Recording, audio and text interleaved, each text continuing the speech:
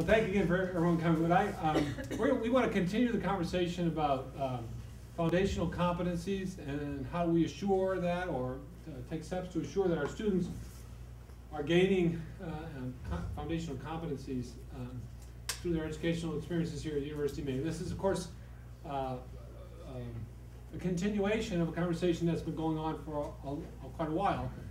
Uh, so I'm gonna, I'm gonna do a very quick thumbnail of sort of at least most recently getting to this point.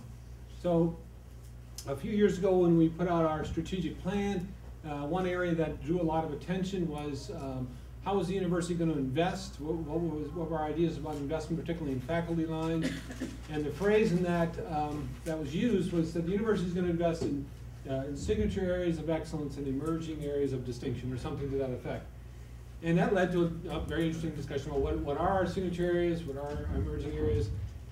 The faculty senate sent a letter to, um, I don't think it's to the president or, but it was directed to the strategic planning group with some ideas about how to identify these signature and emerging areas.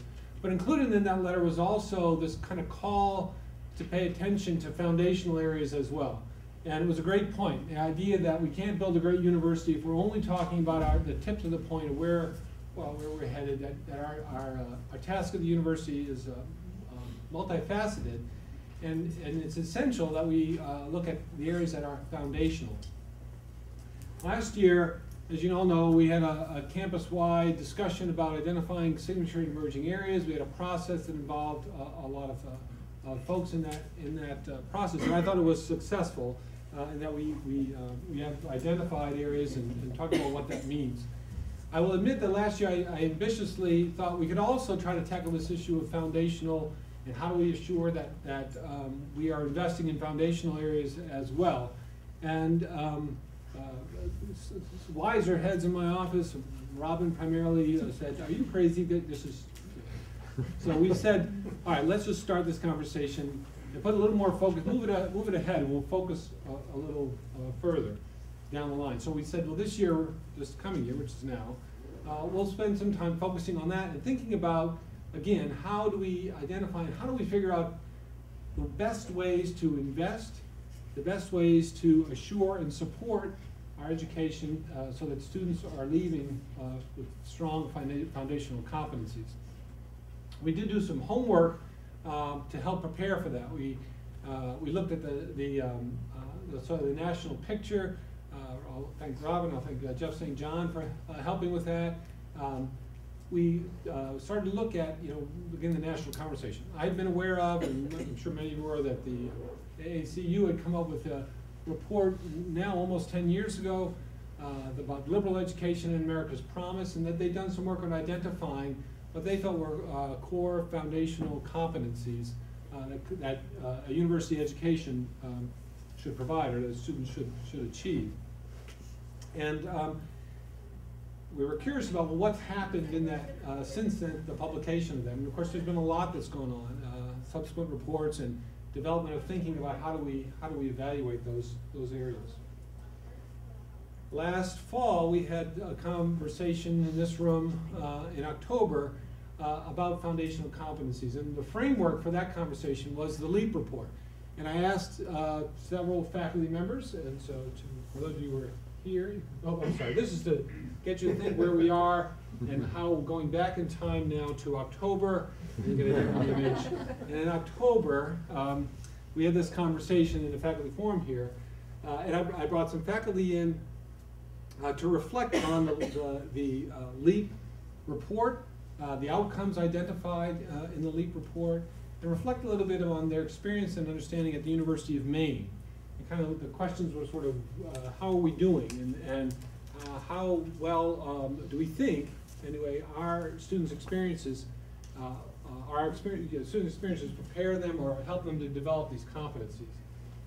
I'm going to provide you what I would think would sort of the summary take-home uh, points from that conversation, but I don't want you to just take my word for it. So, I'm sorry, here's the panel uh, of folks who participated. I won't run through them, but you recognize your, your friends and colleagues here. Uh, a faculty panel as well as uh, Brian Doore, who's our Director of, uh, of Assessment at the university. And again, we had representation from, from across campus. And again, really, I, th these folks commented, and I thought we had a very good interchange uh, with the folks in attendance around this topic. So as I said, I'll provide a summary, but, but before I do that, uh, I'll let you to the, hear what some of them uh, said. My reaction to the, uh, the LEAP outcomes, of course, like my colleagues here, I thought they were fabulous. Uh, I would, uh, um, I didn't see any holes, uh, nor did I see anything that I would want to see removed. Uh, I think at the University of Maine, through the general education requirements that we have, we actually already have a framework in place uh, that we could nicely align with those outcomes. Well, first of all, those outcomes are great. Wouldn't it be fabulous if everybody who left the University of Maine had competence in every one of those areas that was up there? And there may be a few that someone might quibble, oh, that shouldn't be in there, or one or two that might be missing. But overall, that'd be just fabulous. And then I thought, I think the University of Maine does quite a good job providing, in general, many opportunities for students to gain these competencies.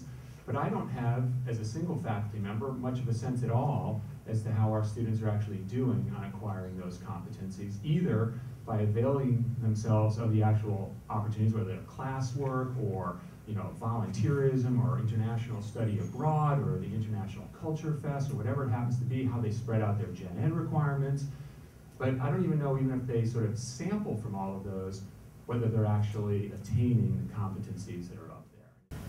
Yes, I think these values, uh, practices that LEAP has identified are fantastic, and I think that uh, the University of Maine is doing wonderfully at implementing them in a variety of ways. I think we can look at our coursework, we can look at programs uh, outside of our coursework that are interdisciplinary, service learning, and we see that we are regularly involved in what I'm going to use as overarching uh, terms for all seven of these principles in engaged reflection. One of the, the ideas that, again, I think is so central in this project is that they talk about higher education and education in general as being towards the end of life, work, and citizenship.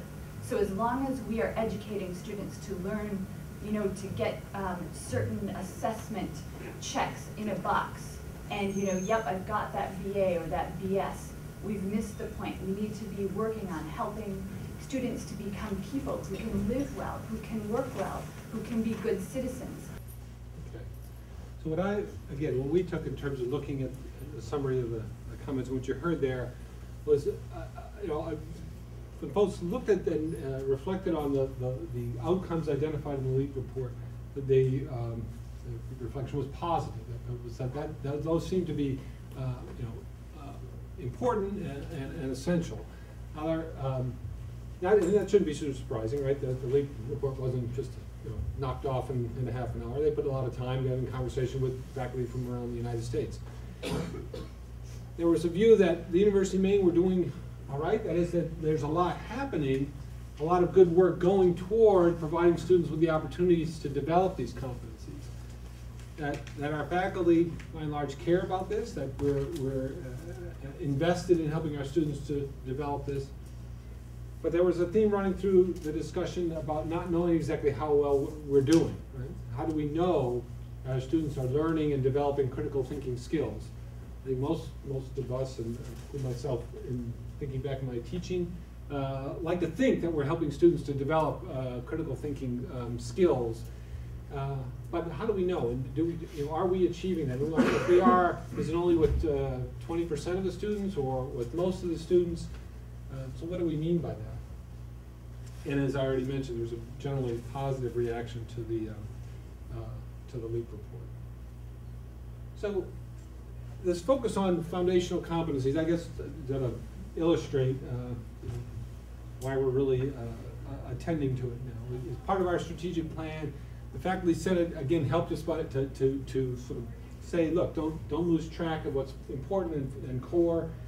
And we had this faculty forum where there was a consensus that these that the um, the LEAP uh, framework was valuable for us to consider as we look at, at, at uh, how we're doing here at the University of Maine.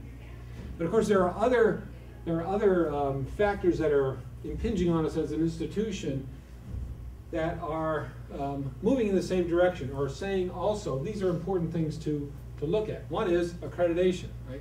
So Uh, we are accredited, as you know, by uh, NEASC, New England Association of Schools and Colleges. This is from the NEASC standard uh, about general education requirements, what they are, they're coherent and sub- substantive, blah, blah, you can, I'll let you read that. We're in, we're um, in a, I got right about the midpoint, maybe just actually just past the midpoint of our, um, of our our accreditation cycle. We submitted a, an interim report, and we provided them an update on how we're doing in, in, as an, as a university, evaluating student learning outcomes. And they said, thank you very much. In their reply to President Ferguson, they said, look, by spring 2019, I want you to give emphasis on your continued implementation of your plan about evaluating student learning outcomes and using, and how do you use these outcomes to inform and make changes as an institution. So, in addition then to our own internal focus of saying this is important, uh, our accrediting agency is, saying it's important. It's not just NEASC as well. Uh, you know, in, in the, the provost job, you get to meet accrediting bodies from all around campus. So whether it's AACSB for, for business or ABET uh, in engineering, um, and other areas, there's this theme of looking at how do you know that you're, you're achieving the goals that you say you are for your, uh, for your students. First question they always want to know. The second is, how are you using what you learned from that assessment to make changes and modify your curricula and, and, uh, and improve uh, your student learning outcomes? So we're hearing it from, from the accrediting agencies. We feel it's important as an institution. After the October uh, forum, uh, um, I asked Brian to do some more hunting around what's going on, again, nationally with respect to uh, the LEAP report and these student learning outcomes. And, um, you know, let's see if we can take that further. We felt like we got an endorsement from the, from the discussion at the October meeting that this was a good way to go. What can we use, we don't want to reinvent the wheel, what can we use, uh, uh, what's happened uh, nationally? Brian identified uh, something called the Multi-State Collaborative Project. I'll, I'm going to let um, Kirsten come up and tell you about that in a minute. But we, um, Brian and Kirsten went to uh, a, a national meeting about the Multi-State Collaborative uh, Project. This is an effort to figure out uh, a, what they think they call a values rubric or a rubric for evaluating learning outcomes, the ones they've identified through that uh, participation in that meeting, and I think because they are so such nice, charming, interesting people, uh, Brian and Kirsten, uh, we were contacted and invited to join the collaborative. The collaborative was set up with nine states uh, to uh, to work on this together. They asked the University of Maine as an institution to join. They they they uh, are. It wasn't just us. They've asked a few other areas. Uh, um, West Virginia, Texas. Texas, It's actually just Maine and Texas. Maine, Texas. They've asked to, to join, um, and they, you know, we were very interested. I was very, um, struck by this opportunity. It seemed great. I'm gonna again have them tell you, uh, more about it. I talked, uh, uh, with uh, Nick Peterson in his role as, uh, president of the faculty senate. Um, he also thought it was a good idea. We took it to the faculty senate, um, executive committee and, and I think received endorsement, uh, for pursuing this. And so we signed off in January on participating, uh, we signed an MOU to be part of this multi, um, uh, multi-state collaborative. So, to complete my little diagram, we've got our own uh, institutional priority that said we should look at that. We've got accredited agencies saying, hey, we think it's a good idea for you to look at that. And now we've got this fabulous opportunity uh, through the multi-state collaborative I'll let, uh, well, AACU, you know, I'll let uh, Ryan tell you what SHEEO is. Um, But there's funding through the Gates Foundation, and through our participation in the collaborative, we'll be able to access some of that funding to help us to carry out this work. So we really have a great opportunity here uh, to really move the discussion forward about um, general education at the University of Maine, about how well we're doing at helping students meet foundational uh, competencies, so that we are laying the groundwork for looking at how do we, how do we invest? Where are we gonna, where do we need to put resources? Where's the, where, where are we likely get the best bang for the buck? uh, in putting our resources and how can we um, in- intelligently or, or rationally uh, move forward uh, as an institution. So that's the background. At this point, I'm going to ask Brian and Kirsten to come on up and uh, take over from here and, and, and uh, fill us in a little bit more detail about the multi-state collaborative.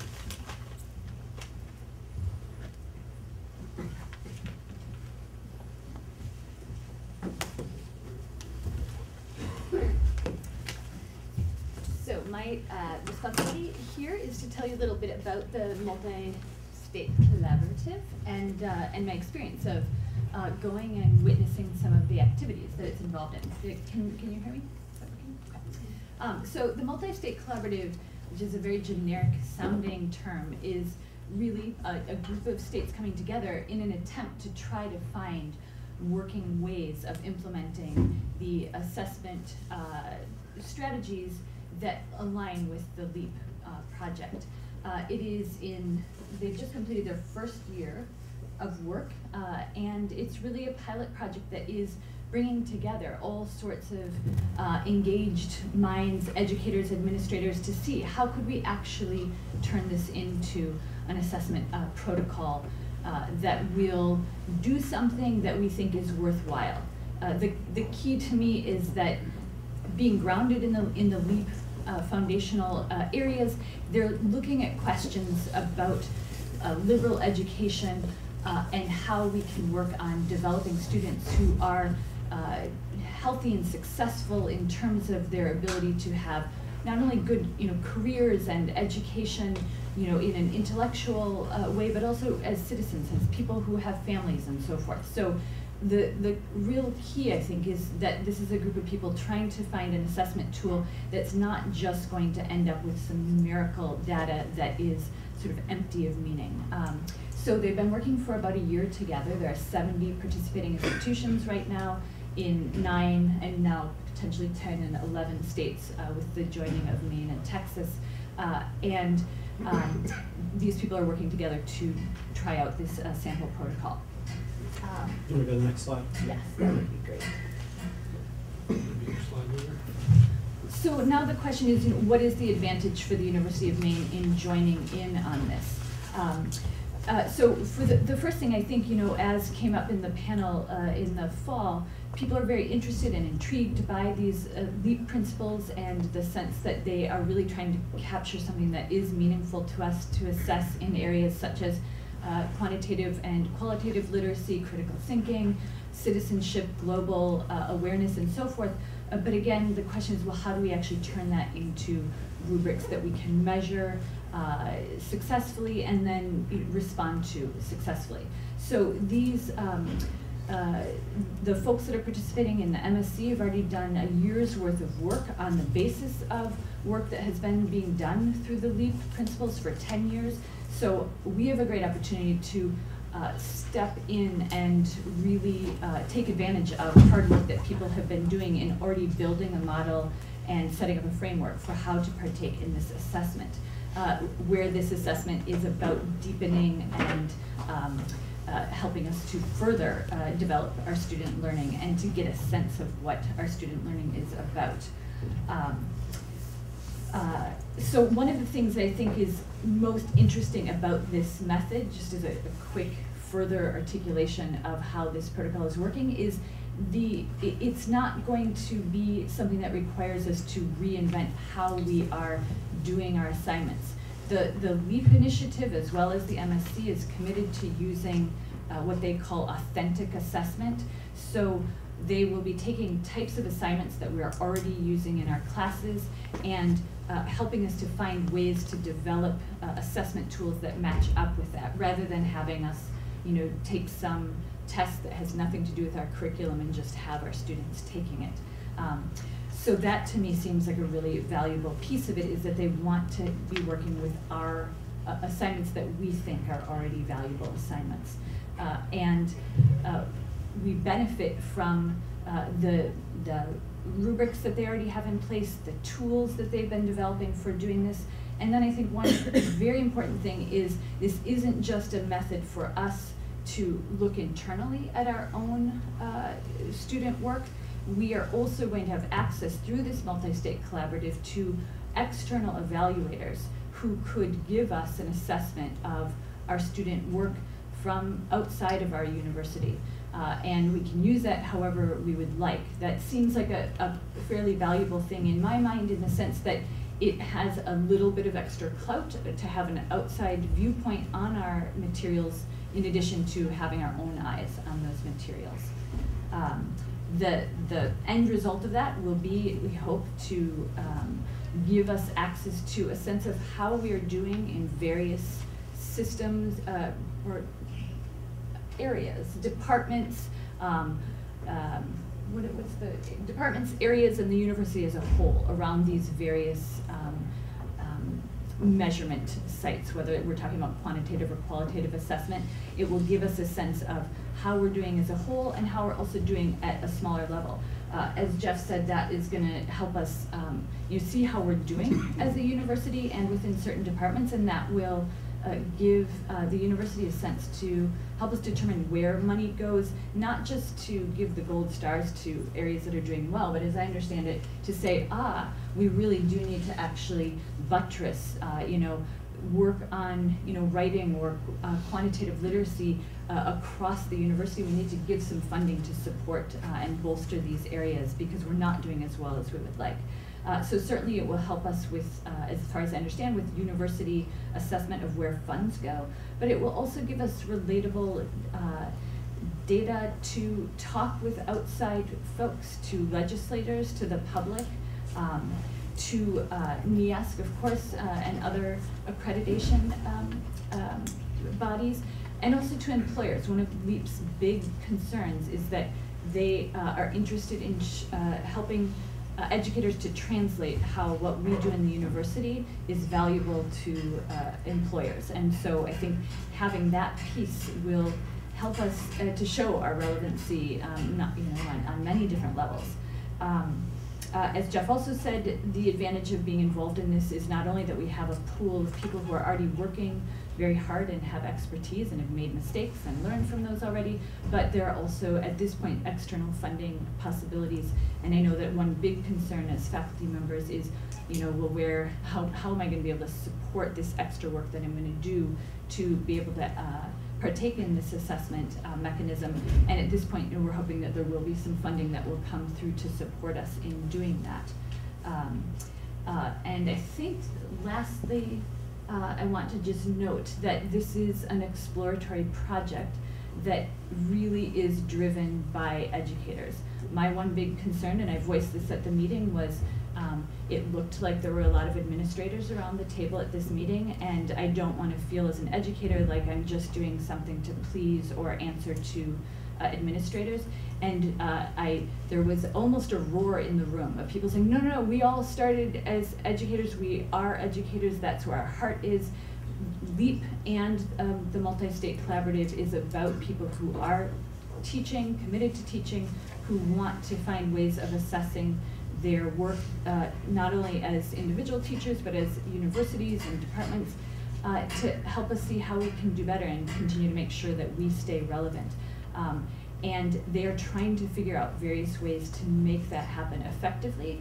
And our joining in on that, I think, gives us a chance to really try to explore and see what we can do with the nice uh, option that if it doesn't work for us, this is not a binding situation. Uh, we have signed on for the um, the MOU, the uh, memorandum of understanding that we will try this out for a year, uh, and we will see what works for us and what doesn't. Uh, and this seems like a great, um, it seems like the best thing that I've seen uh, in terms of trying to figure out how to do this. So I think it's an exciting opportunity um, and looks promising.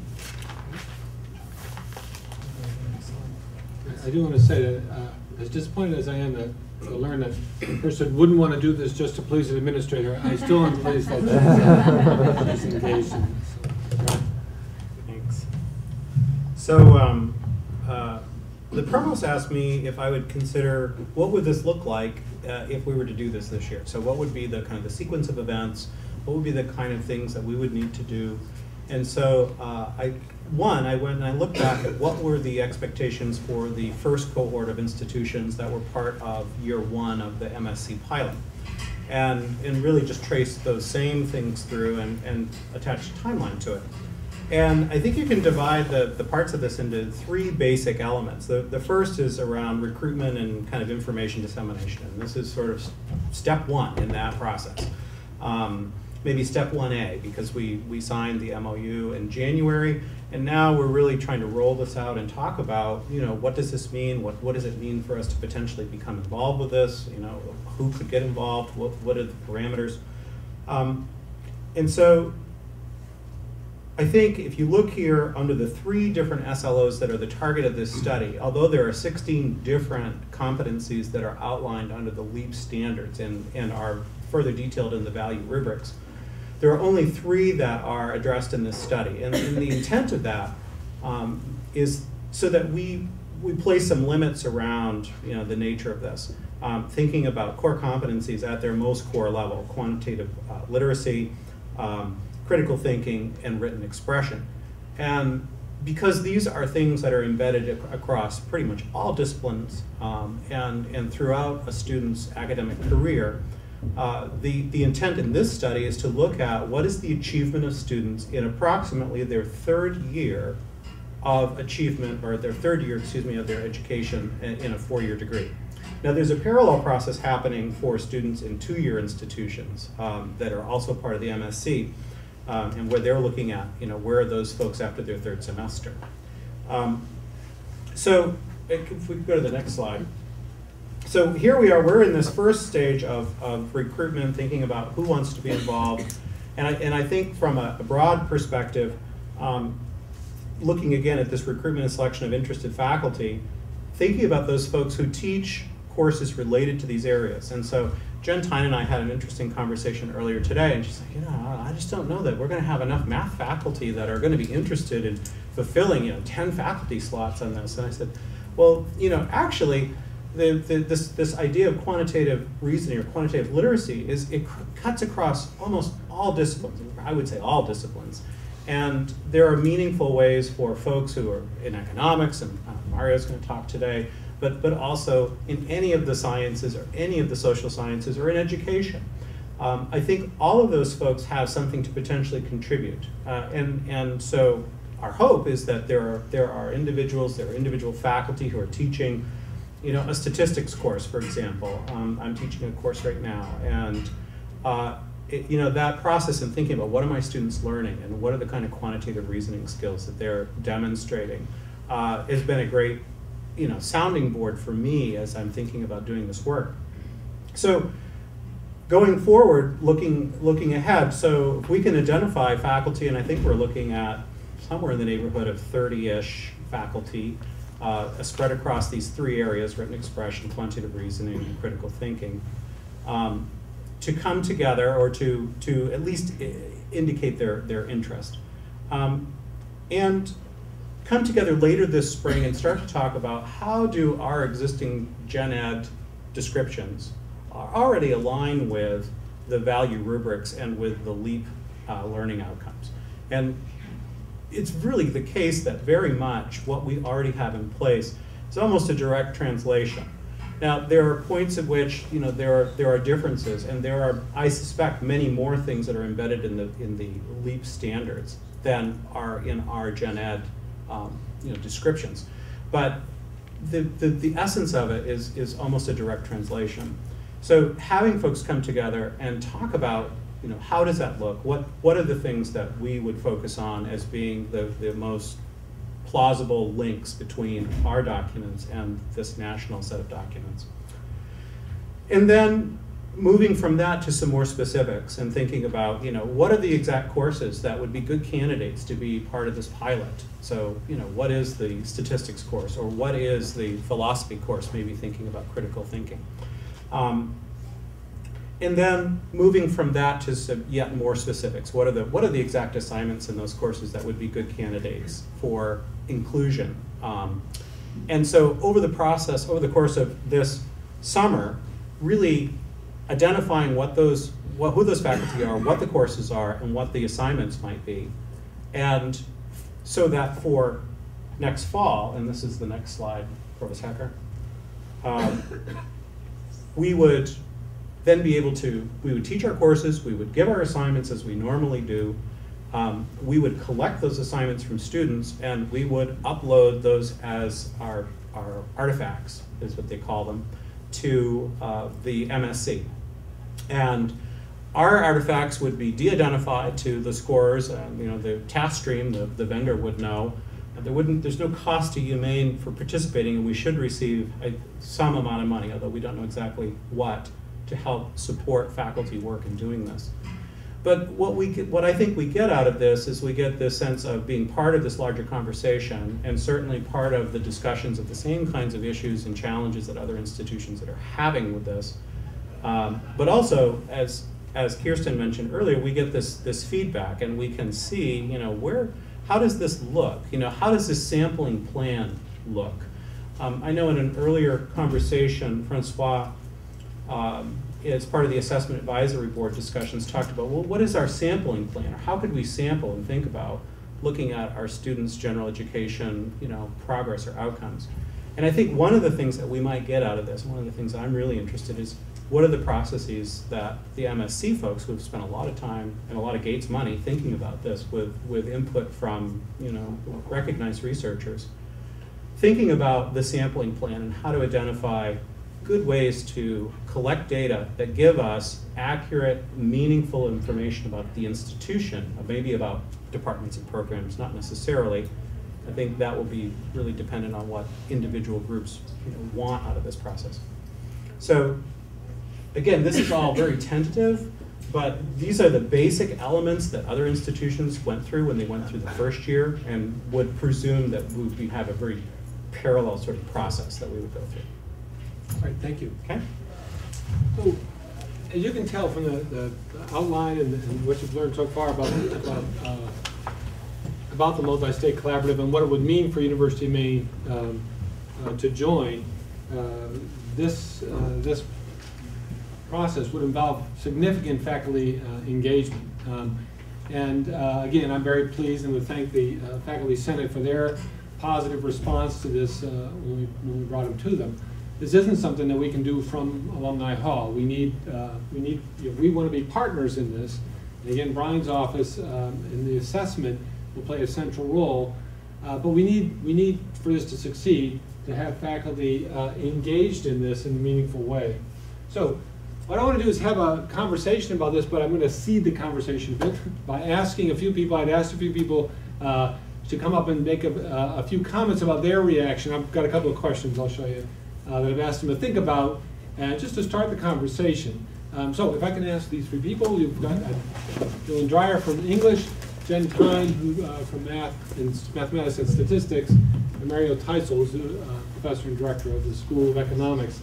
Um, you know, to pander to them for a moment, I try to think about faculty who are engaged in the uh, in this kind of work. About you know, I know from you know, conversations, informal conversations, you know, uh, care very deeply about, um, about the kind of education our students are, are getting, think innovatively about, um, about the way they teach and the way their units are or are not uh, achieving their goals. So uh, fortunately, and uh, they all, all agreed, and you know, I gave them very short notice uh, on this. I think I asked you Monday, Monday afternoon.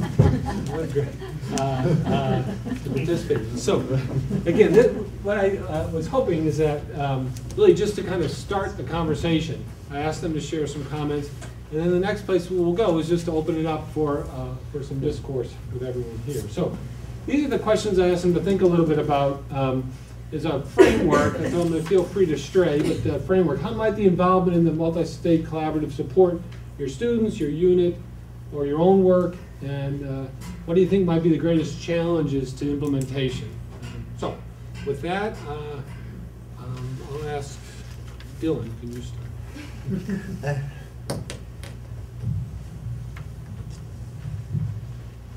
spent all of my time with the um, written communication uh, rubric, of course.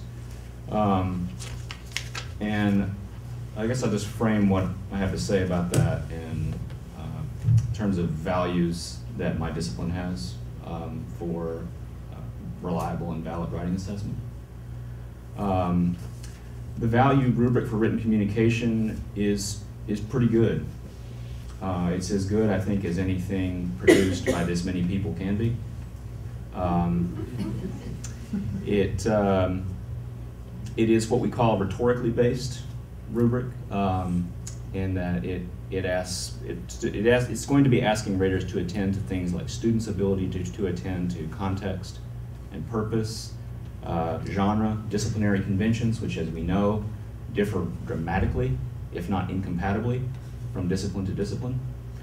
Um, I will also point out that the uh, value rubric roughly, not precisely, but roughly aligns with faculty respondents to the 2011 uh, survey on the state of student writing uh, at UMaine.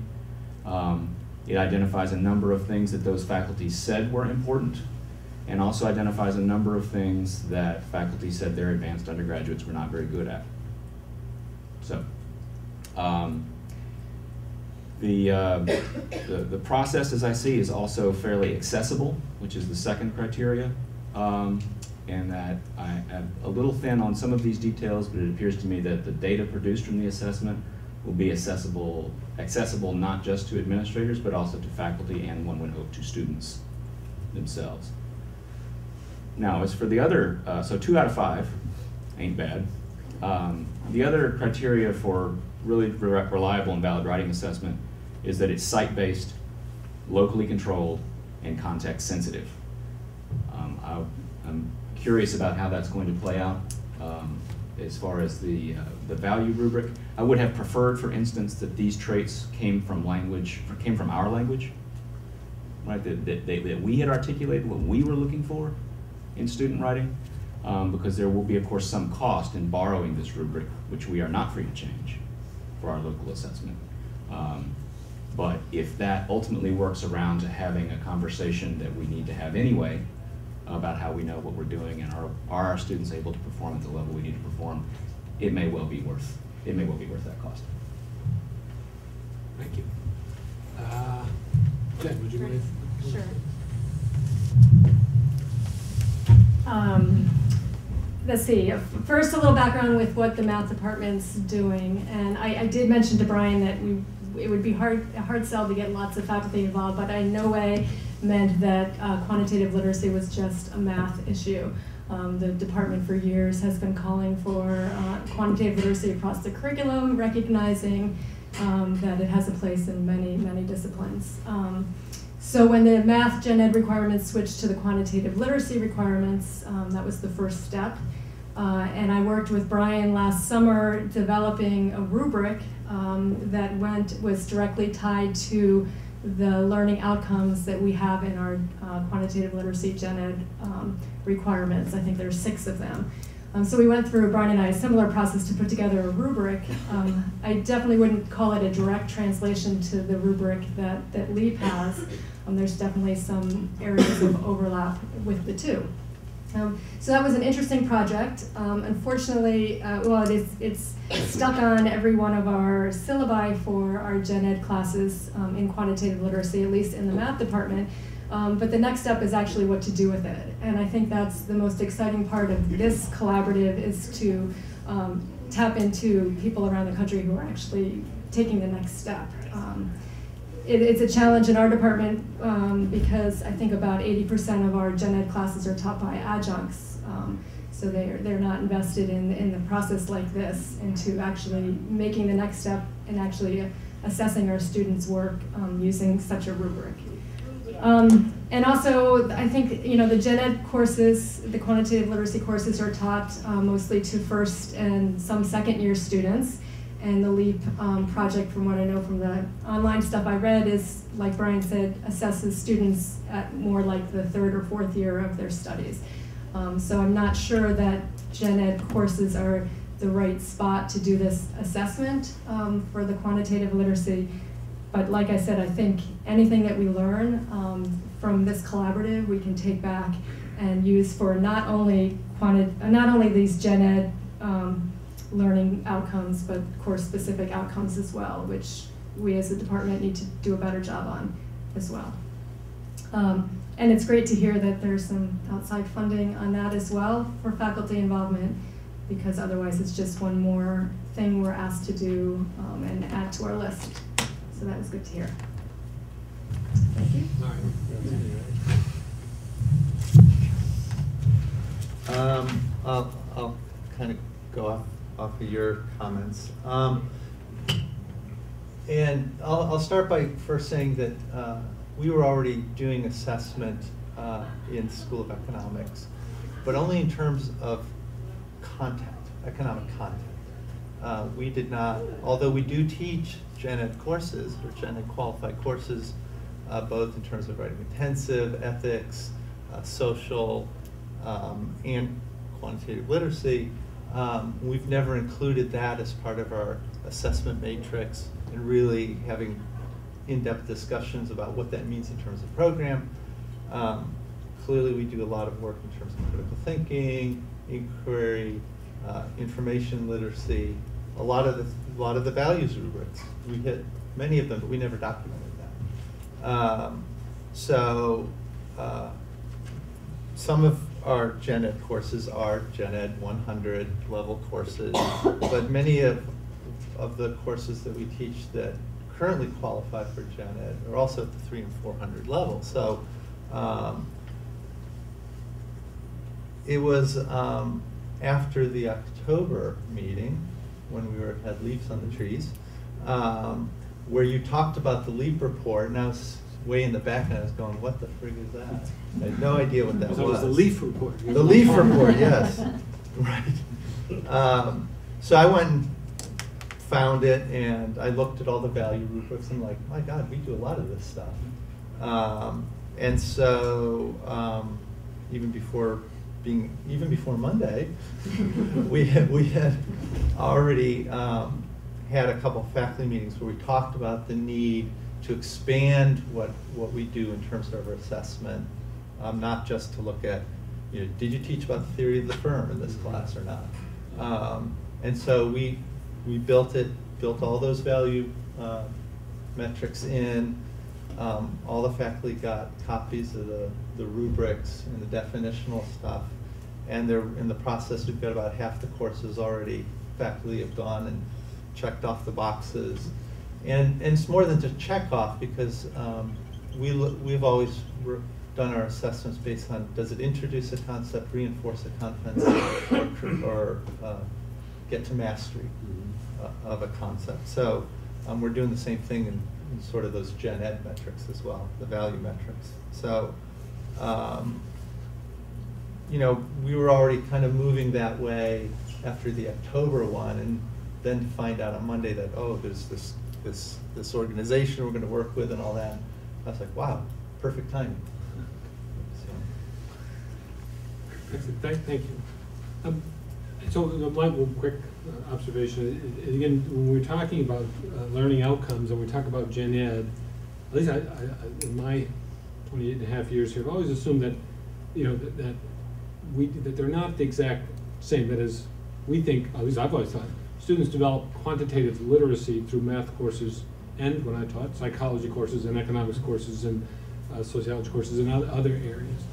So it is that what one thing that's appealing to me is that it's the fact that when I spoke to the person at Multi-State Collaborative, I, I said, well, I kind of actually Jen was uh, along your lines. I'm not sure how many math courses we have at the 400 level that get it. She said, no, that's not that's not what we're interested in. We're interested in the economics, sociology, history courses, and work samples that would come out of those courses that we would then look and say, have your students developed quantitative literacy or, or writing competency or, or, or the ability to think critically? And that, for me, was one of the really appealing things about this. It, it's not an evaluation of the gen ed courses. It's evaluation of the education here at UMaine, you know, writ large or, or, or uh, come together and how we're, whether or not or how well we're achieving um, uh, these kinds of outcomes. I found that very appealing. Um, so let me throw it open for uh, questions. I'll ask you guys, if you don't mind, just to stay up here. Um, and uh, and uh, questions, comments. I, I, I want to talk eventually a little bit about challenges to implementation, but, but let me first, uh, just open the floor for, for questions or reactions to what you've learned about or seen today.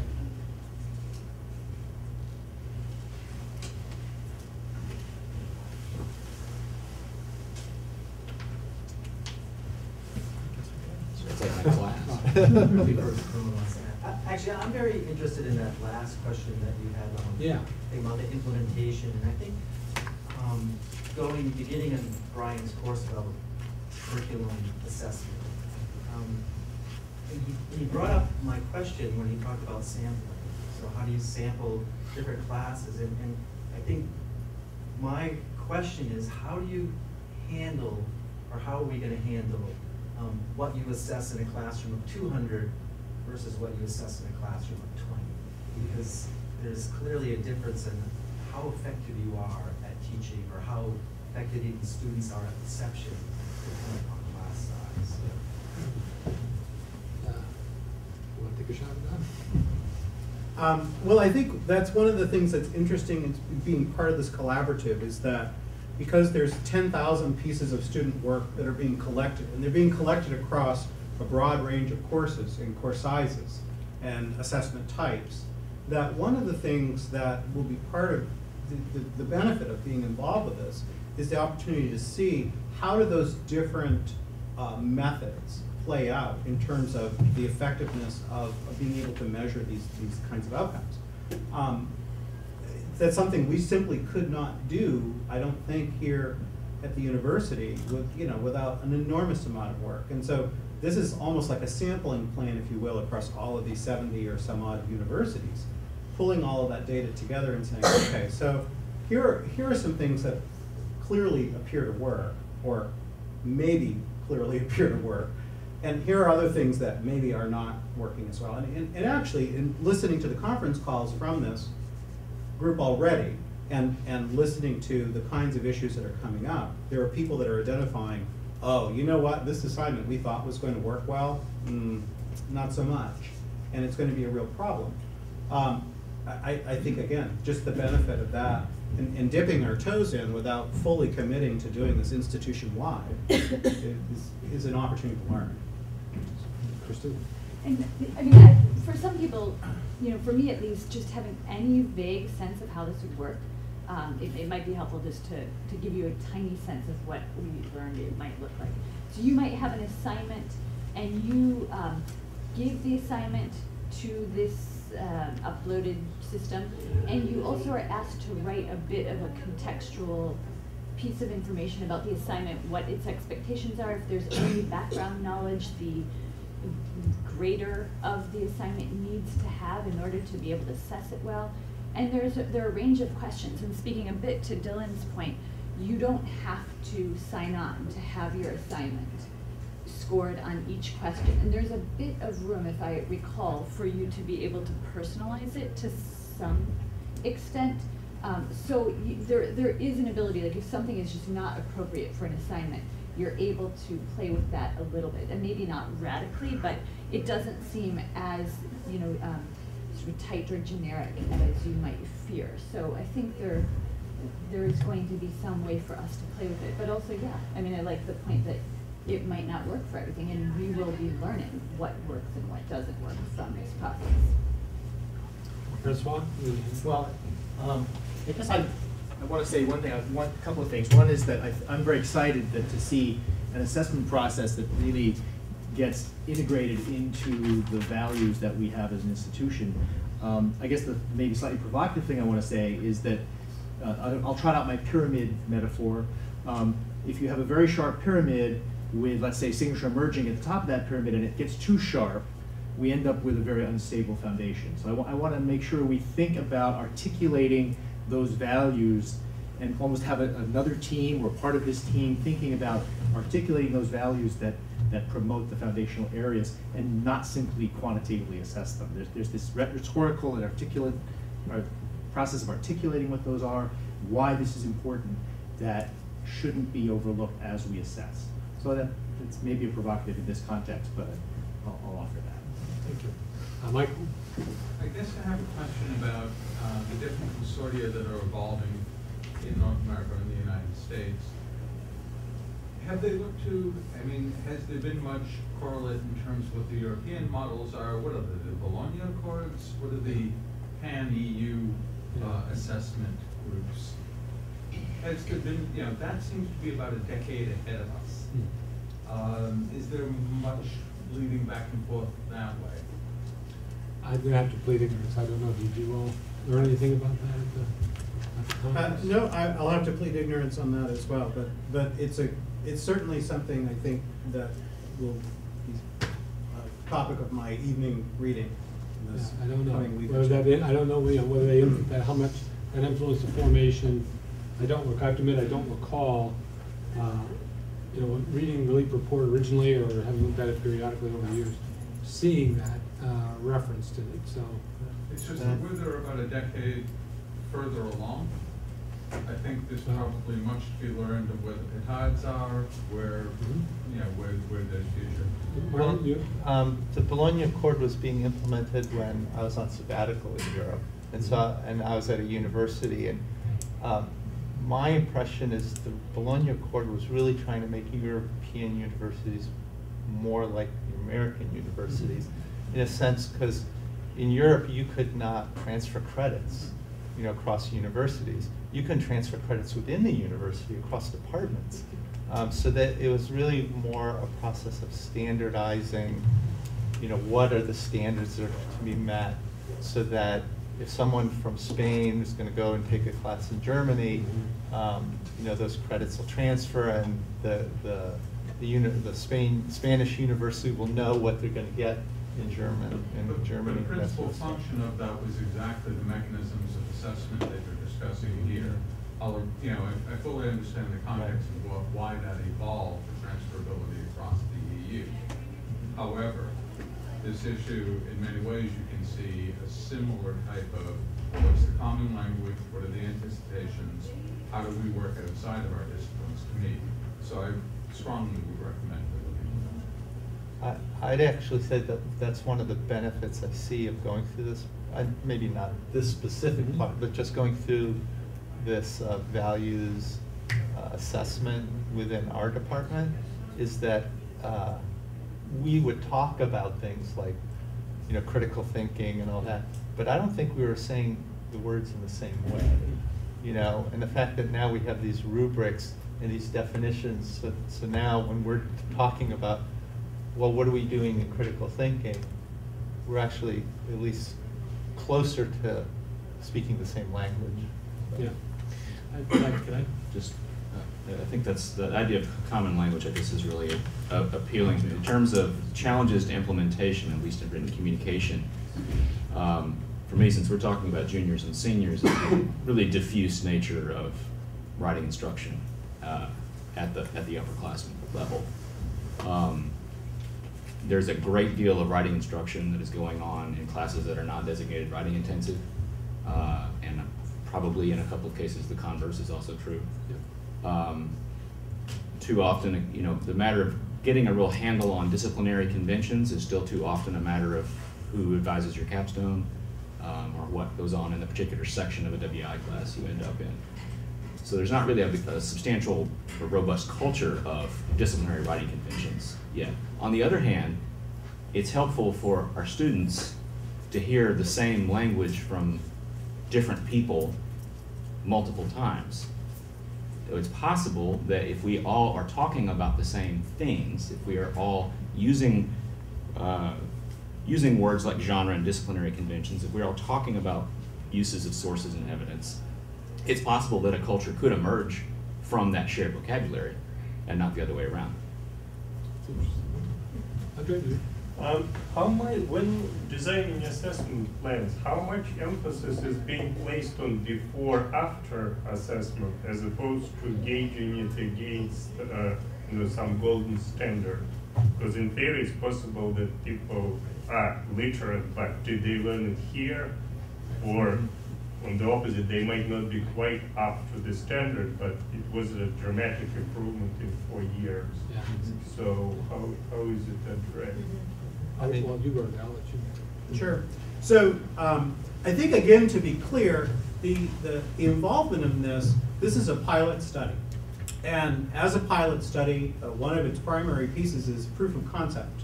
Proof of concept that the value rubrics, as they were written, can actually be scaled in a way that can, that, that they can function as a, a tool for assessment.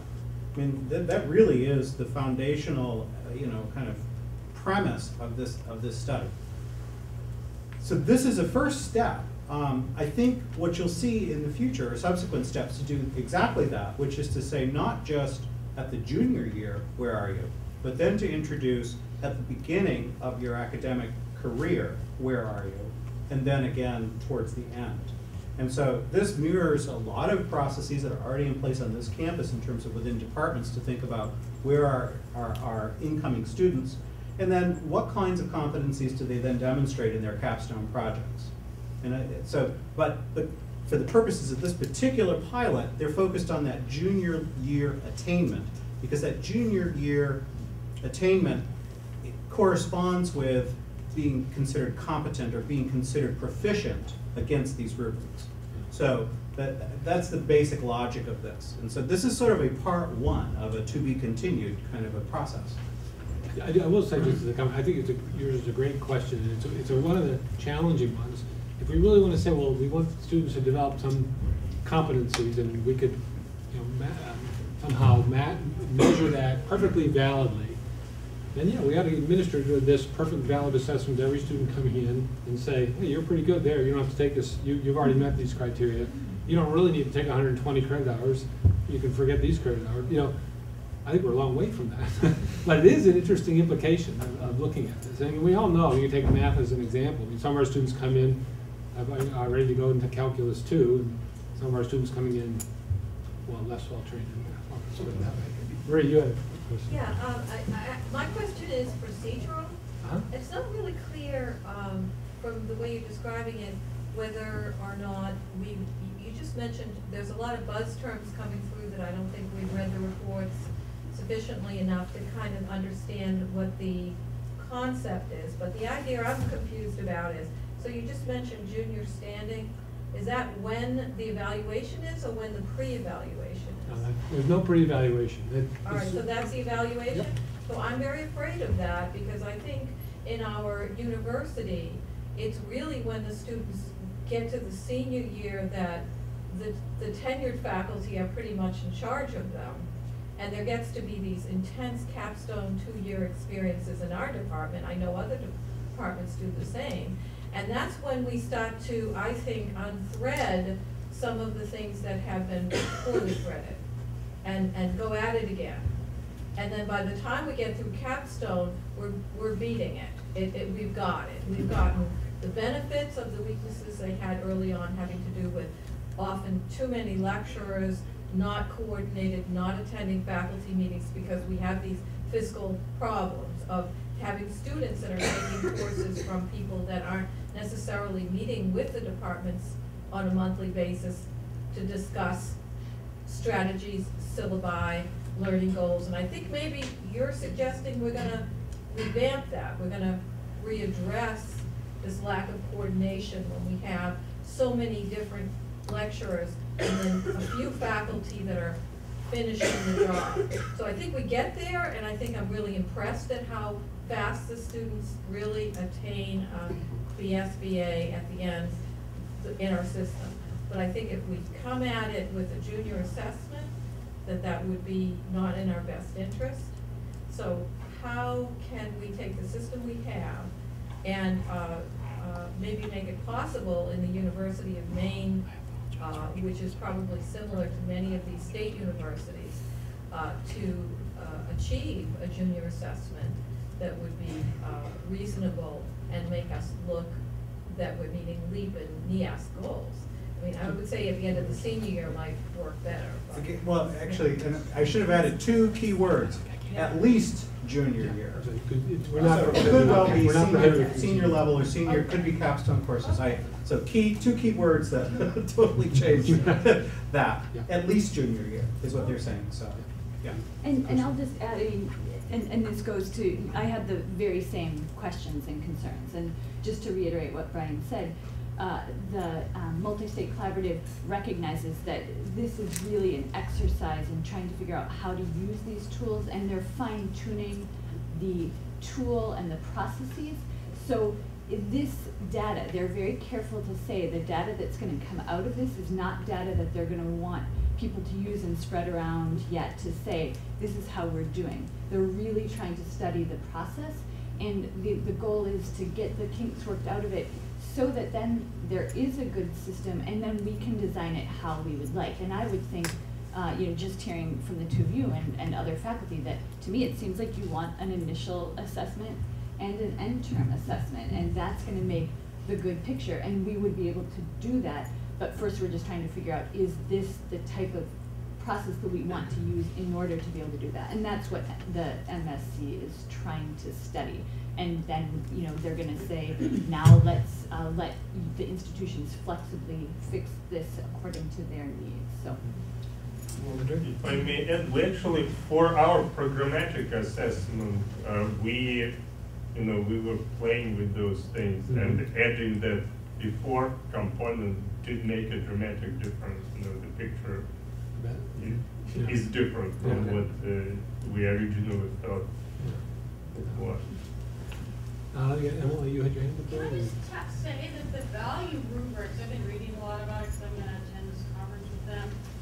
They are currently designed to have a benchmark and then a follow-on. So I know on this particular thing that we're gonna go through in February, that is what we're gonna do, we're just gonna assess an end product. But That sort of gets at all these things that y'all are asking, they're already kind of set up that way. Yeah, we gotta figure this out thoughtfully, uh, are we getting at the right sort of data? Well, I just have a follow-up there, uh, yeah, I think I, I get that part, but one of my concerns is that what we consider quantitatively literate isn't just the minimum that we require for everybody in N, but the requirements we would have for an electrical engineer or somebody in economics, one presumes are more than, say, Michael would require of students in art.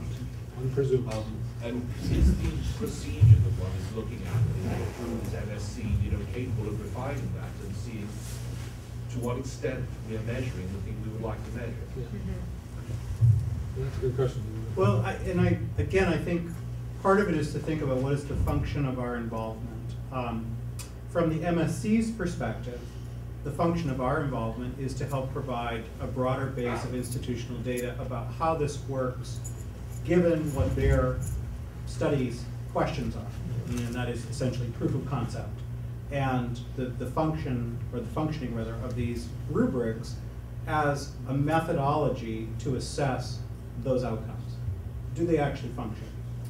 From my perspective, from I think our perspective, I think the function of our involvement is to learn about what, what parts of this process um, are likely to work in the longer term for the University of Maine, and what are the, what are the gaps, what are the holes that remain, and things that will yet to be addressed.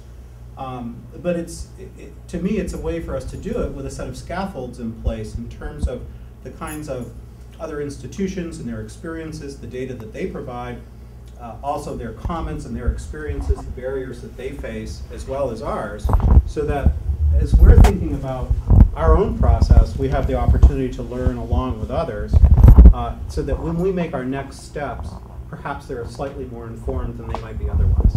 That, that, that to me is the, the function of this. this may be just a different version of Marie's and Nigel's concerns, but I wonder if we're being maybe a little overly optimistic about existing assignments actually fitting the rubrics well enough that we get good data as a result of that. Um, whether, regardless of, of which of the three student learning outcomes one is looking at. Um, my experience with assessment would suggest that if your if your assignments are designed to pick up particular traits, that you get a better feel for how well students have succeeded in acquiring those traits.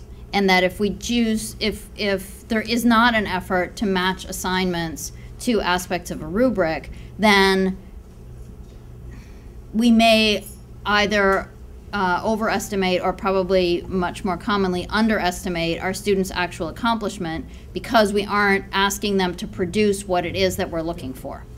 And th- this isn't really about, you know, teaching to a test. It's more, do we have a match between the rubric and the artifact?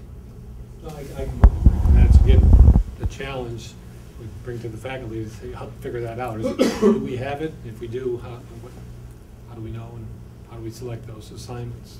It seems essential. From the reading, um, that the, the materials on the Yeah. website, I mean, they talk about that as the issue and that that's part of the expertise that they bring to the table is they're gonna, you know, we may bring forward certain artifacts for them and they'll s- say, oh, with this rubric, Oh, okay, and then they're gonna help us identify where we're not matching, Mhm. right?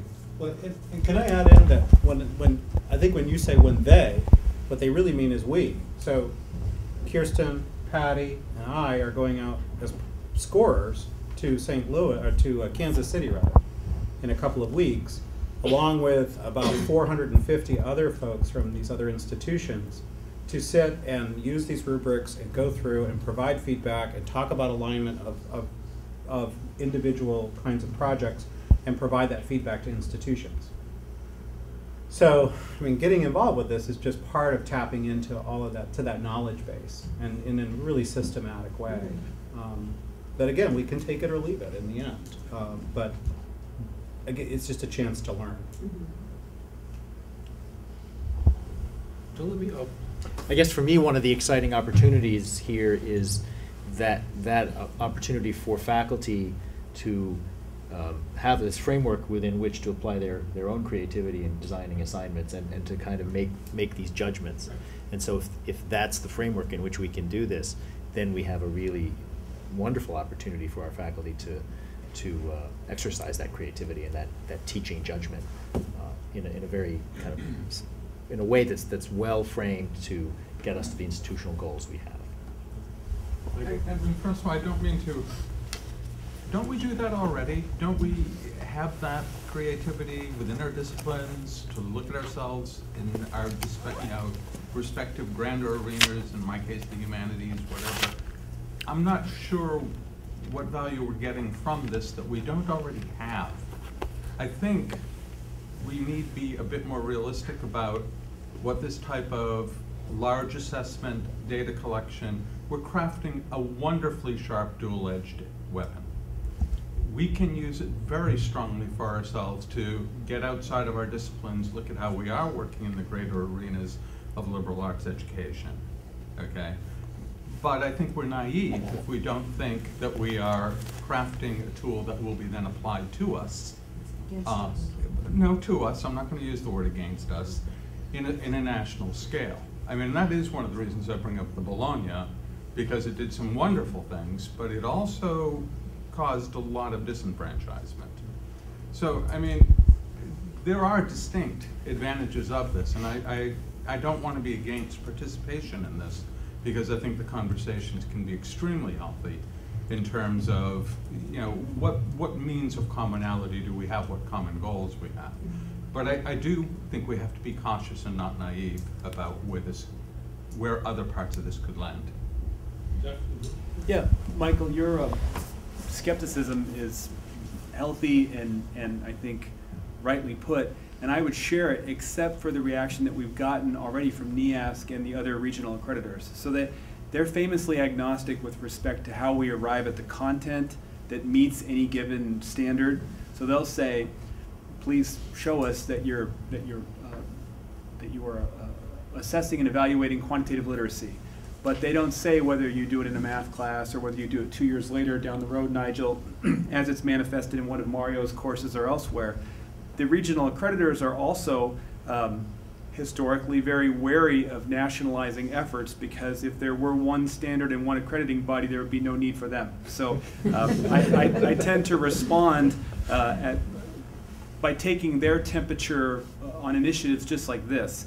They have very strongly, NEASC in particular, but other regional creditors as well, uh, endorsed this in part because it makes up for what they don't do, which is uh, show us the path that takes us to the fulfillment of the standard. What they frequently get back from universities like ours, especially for people like Brian and, and I who have to write assessment reports uh, when we ask them, how is it specifically that we show that we've met the standard, uh, what we often get back is, well, that's not what we deal with. They don't deal with it in part because they have so many different institutions of so many different kinds that, that are, that are bound by that standard. So I guess what I'm saying is, um, th- this is designed to lead, I believe, to the opposite of a nationalizing, but rather better local knowledge of the kind that Dylan was talking about, and yet informed by a- an aggregated body of information and, and assessment data that we can all draw from, as Brian has been stressing, for our own purposes and to the benefit of our own university. Okay, I, I, I don't wish to come across as skeptical in any way, shape, or form. I do think there's much positive to be within this. And I would encourage us to think of how this allows us to protect, to present a public face of what a university education is. In other words, I can see this as a very useful exercise for us to be making arguments within the public arena for our, for what we believe in. When I use the term national, please don't take it so literally. Um, what I mean is any type of, when we use the term benchmark standard, imagine getting friendly advice back of, can you rethink your discipline to be meeting these things? And we get a little bit toward where Emily is pointing. Is there necessarily that correspondence? So I don't want to come across as skeptical. I want to be positive about this and fully do engagement. I would look for the opportunities of what this will give us. But I would, but again, I, I would be wide open eyes. Good. You were talking about the pilot and the assessment. Yes. Could you talk a little bit about the larger framework, the larger picture of the, of the foundational areas? So are you saying at this point that the gen eds are equivalent to our No, foundation not- Not necessarily, no. But, uh, I mean, the- the two of the three are obvious. That, that, that this pilot is in- first interested in writing competency and quantitative literacy. You know, that- that maps perfectly on, onto our, uh, our gen ed. I think from having, and again, from the, from the October um, uh, discussion we had, when we asked faculty to look at, they saw a significant overlap between these, uh, these areas uh, and, and our gen ed. So as I've talked, I think I may have lost track of your question, so. Well, I just wanted to hear a little bit more about the concept of foundational areas. Oh, Because of how- yeah, it came you. out, the signature emerging and then the No, actually, that's a great, thank you very much. Yeah, so that, that's, to me, that uh, remains, um, you know, a challenge. Uh, I think it's one of these things that we all think we know what they are, and again, for myself, speaking for myself, when I look at the, the uh, LEAP um, learning outcomes, I say, yeah, that, that looks, that looks good. Um, I, you know, I, uh, I think in terms of our, um, um, I think I would myself prefer to have the discussion and not tie it to our gen ed requirements. Um, To have the discussion about what they are uh, over here, and then ask the question, how does, I- from, from my point of view, is how do our gen ed requirements and everything else we're doing here at UMaine help achieve these outcomes? I, I don't, I personally, this is my, my, choice, I don't think, I think we're making a mistake if we think the ed requirements by themselves are gonna achieve meaningful outcomes. So, to me, they're part of the puzzle, uh, about this. So I'm, sure that was, and I, I'm not avoiding, but I'm, I don't have an answer to your question about what's the mechanism for making sure we've identified what are the foundational areas at the, at the University of Maine. I think I sparked questions from the chairs of English and math. Uh, Actually, just a follow-up rather than a question. You know, I'd like to add, I think this is all a very good initiative, and I certainly think we should be on board with it. Um, but what you just said, I wanted to query a little bit. Uh, I think for the pilot program, uh, quantitative literacy gen ed is a great starting point, but I don't quite agree with you that it's an exact match for what they're measuring, because as you said earlier, if we're to be looking at quantitative literacy as, say, an electrical engineering junior has it, uh, or as a psychology junior has it, that's not quite the same thing as a, as, as a quantitative literacy that we're putting in as a requirement for everybody across the Yeah. board, and probably shouldn't be measured as such. No, I, I, I think that's valid. I, I, what I think, what I was trying to convey is that I, I believe when the discussions about gen ed were first taking place, it was, we need to make sure our students are quantitatively literate. Okay, great. And then we operationalize that in certain ways by having checkoffs and stuff, which I'm not you know, it was very debatable about whether that's a good methodology or not. But we did it, so did hundreds of other universities, so I don't think we're unusual. But it's a, it's a, you know, it's an interesting question about, well, just as I think uh, Kristen said in the, in the, in the taped piece from last time in October, if we think our job is done because they've checked off, you know, I don't think any of us thinks that's adequate. Dick? I mean, this is a really stupid question, but what data are we getting? What kinds of data? I don't understand. A lot of talk about data, but what's being measured? I think the art, I think if I answer your question, they use the term artifact, so there would be sample papers that they identify and they're sent and they're evaluated on these rubrics. And they'll be rated one to five on a rubric? Uh, essentially, a- a- a- One to four. One to four. Yeah. That one to four is probably a very bad measure because, well, no, that's fine. A to D, that's about as far as.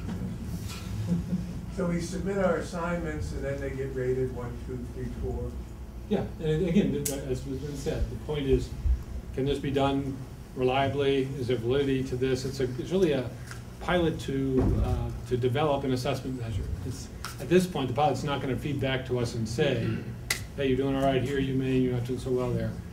It's helping to develop a tool that, again, to follow on Dylan and Brian's point, we can or cannot, if we choose not, but we can take that back to UMaine and say, how can this help us with our task of, of really learning whether we're achieving the goals we think we are at UMaine? And So it's a I- step. I say something?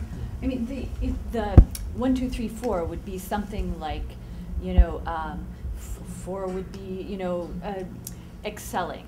Three would be, uh, meet standards, you know, or something like that, and it would be along a series of questions. So if it's within qualitative literacy, it would be, you know, questions such as, is the student able to, um, you know, uh, assess the reliability of sources? Is this, does the student show, um, connections in, you know, thoughts and arguments, uh, in accord with the thesis proposed? You know, so th- there would be some meaningful things. It wouldn't be just like, oh, we think this student gets a three on this paper. Um, it, it, it has some more meat to it than that. The student papers being graded, not the assignments. Right.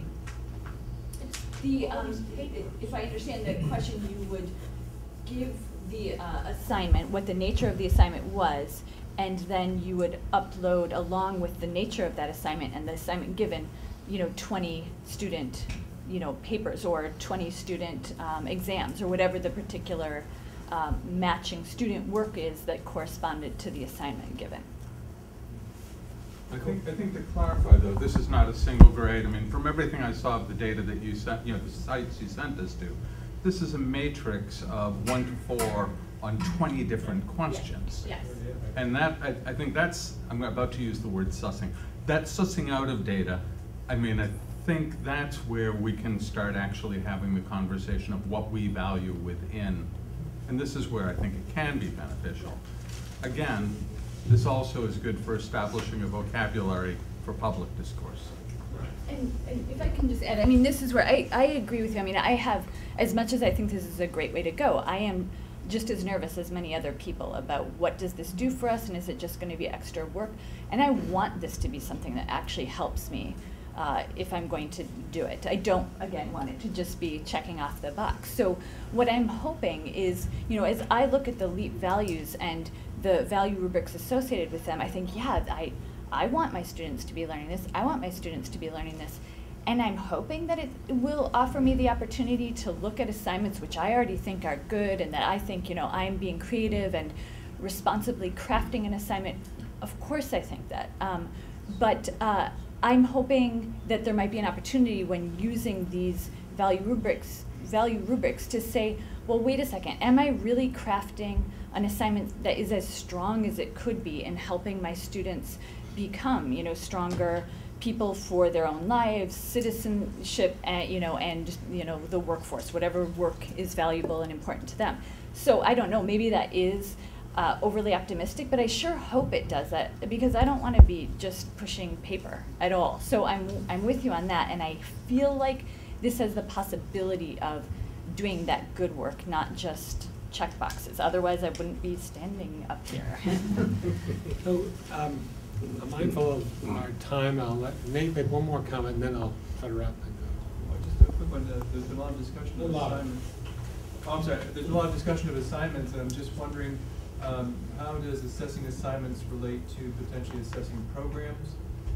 Uh, I mean, that, uh, I don't know, they don't seem like the same thing, and I'm just curious about how that's thing, I mean. That's clearly, again, it's this idea of, can we help develop a tool? Can we learn from that, that we can use here at UMaine?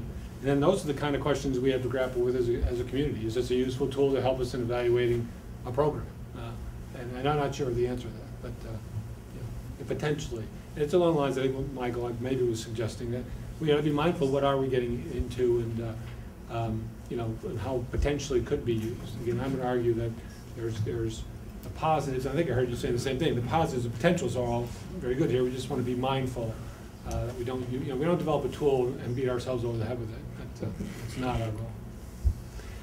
So, all right, let you make the mess. Uh, I'd argue that baseline data would be more useful if it could be somehow identifiable such that we could identify characteristics of students in combination with characteristics of uh, curricular programs that make for achievement or not. So the, so the next challenge, uh, not the next one, the next thing we need to do is figure out how to do this. Um, You know, we have this outline of, of a plan. So what I'm gonna ask, um, is, um, I- and I should have said this at the outset, you may have noticed there's a camera over there, we're making a recording of this. Uh, we'll, we'll post this on, uh, there's a site on, on my web, the Provost website, um, about this. There's also there, though, you know, we've uploaded materials about, uh, about the LEAP project, about the value rubrics, and some of you have looked at it. Um, and we will add, uh, a place for people to add thoughts and comments and directions. So I encourage you to do that. I'd also encourage you to let your colleagues know, uh, you know, that we're engaging in this and that, uh, if they can put any time and thought into it, we'd appreciate their, their input. I, I, I, um, what I'd like to do is figure out a way, and I'll, I'll talk with, uh, with uh, Mick Peterson as president and Marie as uh, chair of the Academic Affairs Committee, about how to, how do we go about, you know, reaching out and engaging the faculty in this uh, practically, who we're going to identify, how we're going to do this. I I don't have the answer to that, but I look forward to working uh, with the Senate uh, on on doing that. I want to, uh, I thank everyone come, for coming here, but I particularly want to thank my boss. I think it's very, says something about the value of our president that you want to come in and, and sit in on this kind of a, of conversation. Uh, So, um, thank you, uh, President Hunter, for joining us. If you'd like to share a few comments, you're welcome. that. And it won't take up much time because I know everybody really needs to go. So I found this very helpful. Jeff talked to me a while ago, a couple weeks ago really, about the collaborative.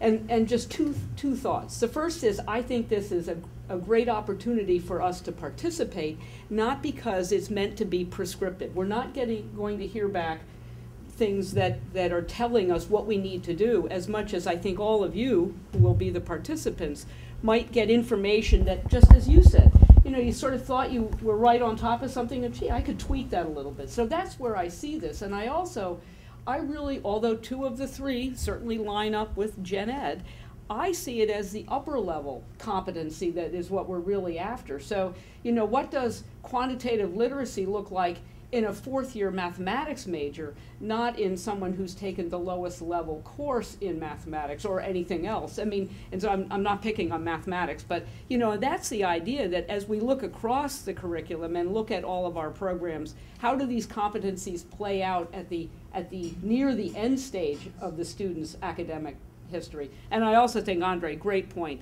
The the beginning and end, the before and after testing which I guess maybe a lot of biologists do, so that resonates with me. So, thank you. Again, thank you very much for participating. We'll send out a little notice about, hey, here's the website, and try to make it easy for faculty uh, to give input. So again, thanks a lot for coming. And, uh, thank you guys very much. And so